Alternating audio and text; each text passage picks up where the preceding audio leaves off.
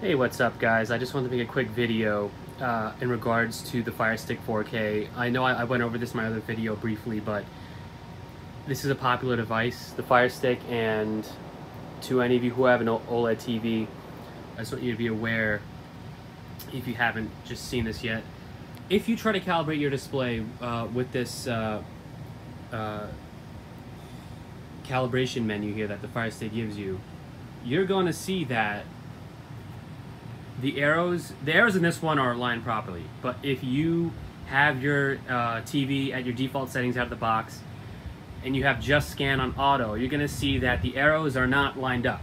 On the default, if you reset this, it's not gonna be lined up.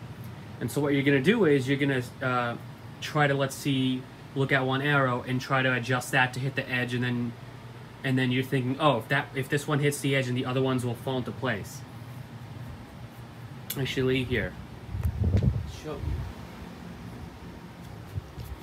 Okay. So if you go to aspect ratio here. So you'll turn it on, you'll turn it, it'll be on auto. And you'll see that the arrows are off are out of bounds at the uh, bottom right, left, top.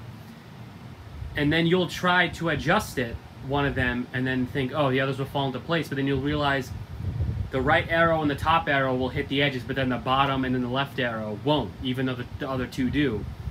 And this drove me crazy eventually because I had this on the B8, and then I realized I was playing with all the settings I could. You just have to turn just scan to on. Uh, this device for the Fire Stick, for whatever reason, the the way it displays content, you need it's not. You have to go to just scan to adjust it to get properly to get the calibration properly and you don't even have to move the arrows. You can you could keep it on the default that it gives you. You just have to turn just scan to on, and boom, you have everything. It fits in now.